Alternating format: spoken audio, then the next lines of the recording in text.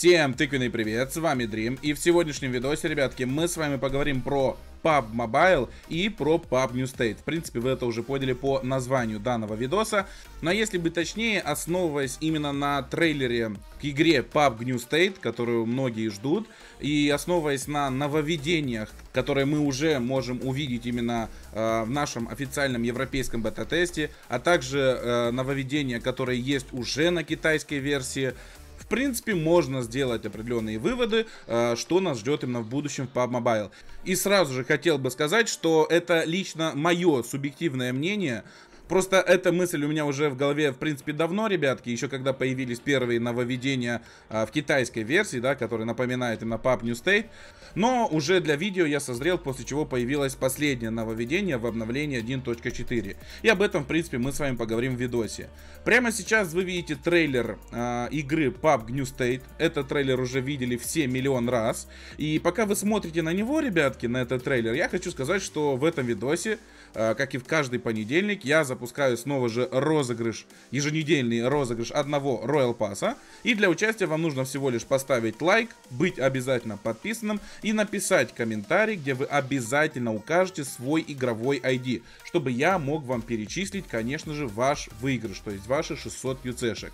Ну а в конце данного видоса вы узнаете победителя прошлого еженедельного розыгрыша. Так что обязательно смотрите до конца, ну и, конечно же, желаю удачи всем, кто участвует а, в нынешнем еженедельном. Теперь, почему мы с вами смотрим данный трейлер, который все уже видели миллиард раз? Все очень просто, ребятки. Сейчас будет определенный момент, который, кстати, уже был а, в этом трейлере несколько раз, а именно момент стрельбы от бедра. То есть прямо сейчас вы видите, как персонаж бежит, а, прицеливается от бедра и, в принципе, убивает врагов. И вот таких вот моментов, именно такого геймплея в трейлере можно наблюдать прям большое количество, да. А, и помимо этого, ребятки, как вы знаете, кроме трейлера, нам еще завезли определенные скрины где мы с вами видели э, новые здания футуристичные, да, также видели с вами э, снова же этот прицел от бедра и так далее. Так вот, э, в этом трейлере э, было много крутых моментов, конечно же, он всех зацепил, многие прошли при регистрацию, ожидают, когда откроется альфа-тест, а если вы не в курсе, обещали открытие где-то к концу июня, но это не точно. Да и в принципе видео не об этом, а видео о том, что э, в нашем официальном европейском бета-тесте, который можно прямо сейчас поиграть, ребятки, а, а именно э, там сейчас тестируется обновление 1.4, тоже добавили э, данный прицел от бедра. Э, он у нас, э, как вы видите, показывается в правом углу под картой. Ну, это кнопка, да, вы можете ее переместить куда вы хотите. Ну и, в принципе, э, если честно, эта функция появилась внезапно и без вообще каких-то анонсов. То есть анонсов о том, что добавит именно э, прицел от бедра, не было вообще. Э, как и самого режима нам не анонсировали ранее, я имею в виду про режим предполагаемой коллаборации, да, с Marvel, где у нас там можно превратиться в маленькую осу. В принципе, кто не смотрел обзор, посмотрите, потому что в этом видосе мы с вами говорим о другом. Так вот, э, без никаких анонсов, без никаких предупреждений, э, нам э, в обновлении 1.4, которое, кстати, вышло изначально с режимом Годзилла и Конга, как вы знаете, да, завезли еще один режим дополнительный, о котором я говорил, и вот эту вот кнопочку, ребятки, а именно прицел от бедра. И, в принципе, прямо сейчас вы можете даже посмотреть характеристики, то есть, что представляет из себя этот прицел от бедра, то есть насколько удобно э, с помощью этого прицела стрелять. Э, не знаю, вот для примера давайте мы с вами постреляем вот просто так, без э, контроля, без ничего, просто зажимаем э, стрельбу, и вы увидите, на как работает стрельба именно без прицела от бедра.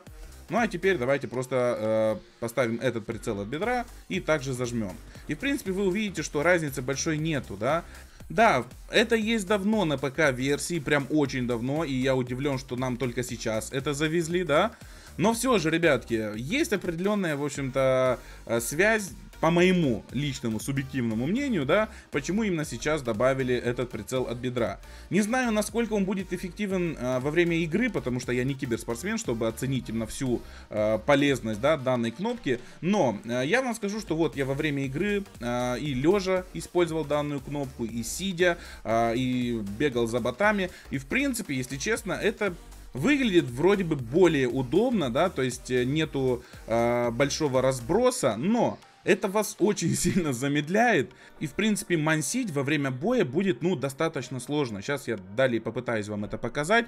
Но речь именно не об этом. Речь о том, что нам завезли э, эту функцию оперативно, без каких-то предупреждений. Как это произошло, допустим, и с транспортом, да, э, который только анонсировали на китайской версии. И сразу же неожиданно нам завезли. Это было тоже мега неожиданно. Плюс к этому, а, если вы вдруг не в курсе, это единственный транспорт, который нам добавят, и у него есть стекла, то есть есть окна. Поэтому, если честно, э, мне нравится эта тенденция. Я честно вам скажу, мне нравится эта тенденция, потому что разрабы именно заморачиваются, делают все лучше и лучше. И, в принципе, э, то, что мы видели в трейлере PUB New State, медленно, по моему личному субъективному мнению, ребятки, медленно, э, конечно же, переливается именно в нашу игру. То есть, добавили прицел от бедра, добавили еще вот такую вот кнопочку. Я, честно, не знаю, что она из себя представляет. Если вы вдруг в курсе, напишите в комментах. Плюс к этому, ребятки, если вы зайдете на китайскую версию, во-первых, вас встречает вот такое вот интро.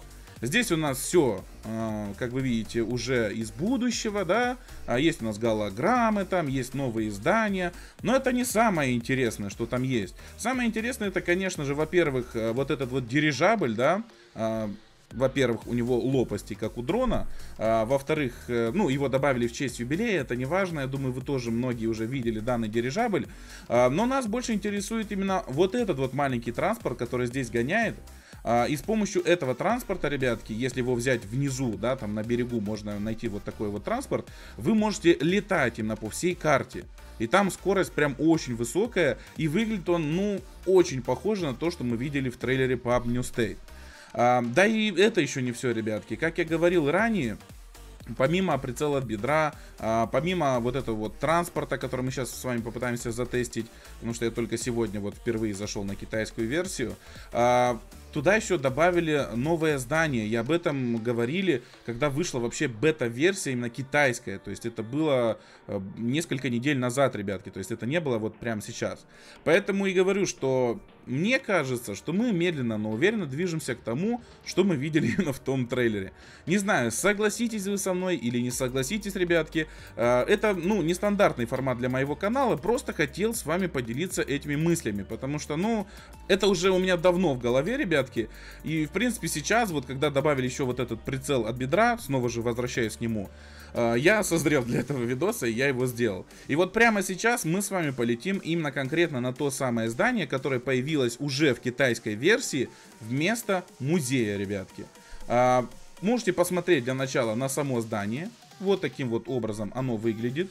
Если вы вдруг видели э, скрины с Pub New State, да, который нам предоставляли, вы уже 100% э, поняли, с чем э, можно сравнивать, да.